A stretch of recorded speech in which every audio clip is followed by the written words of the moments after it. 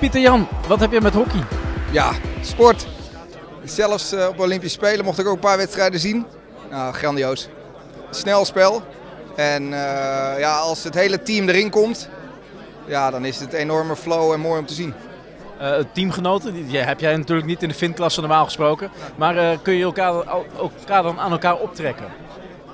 Ja, zeker. Ik, ik, refereer nog even naar de Olympische Spelen van 2012.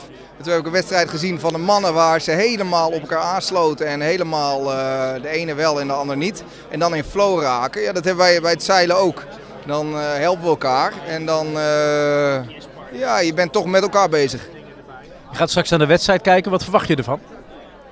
Ja, ik heb nog niet een duidelijke verwachting daarvoor. Maar in ieder geval dat ze zich vol inzetten. En uh, ja, ik support uh, 200 procent. Is dit een Nederlands mannenelftal die vanavond spelen? Zijn die te verslaan of uh, gaan ze gewoon wereldkampioen worden?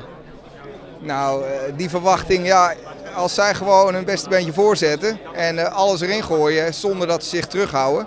Ja, volgens mij is dan van alles mogelijk. Het is het begin van een mooie oranje zomer, denk ik. Ja, nou, we hadden de winter al, het, het hele jaar door is het nu, hè? Ja, maar zeker een mooie oranje zomer.